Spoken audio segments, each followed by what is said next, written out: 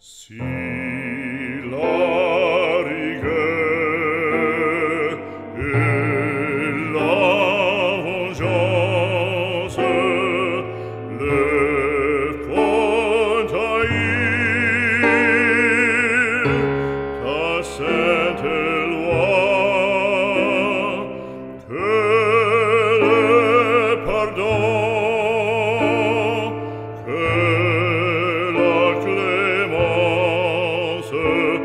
Mon Dieu,